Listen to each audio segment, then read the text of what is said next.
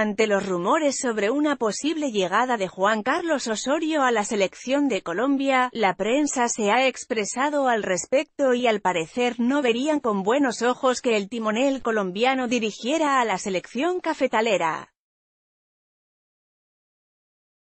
Lee también, el mexicano Javier Aguirre, nuevo seleccionador de Egipto El periódico deportivo, diario de aquel país, fue tajante en su portada al señalar que esperan que, Dios nos libre, de que Osorio tome las riendas. Why Osorio?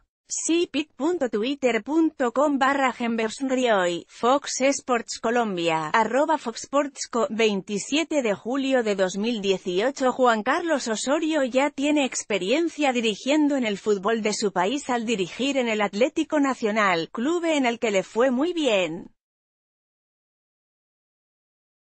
A pesar de eso, en Colombia, la gran mayoría preferiría a otro entrenador antes que a JC. Osorio, el trabajo en un seleccionado se reduce a unos cuatro o cinco partidos a lo largo de semestre y por ello se debe trabajar con la misma base de jugadores, dice el texto del periódico deportivo. El medio criticó las rotaciones que aplicó en el cuadro mexicano, pero que dejó de hacer durante la pasada Copa Mundial Rusia 2018. Osorio en México quiso aplicar las mismas fórmulas de los clubes y los resultados no fueron los mejores.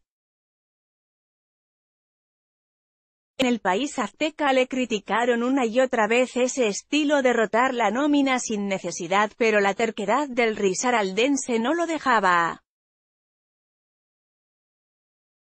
Juan Carlos Osorio también ha sido vinculado a selecciones como Estados Unidos y Argentina.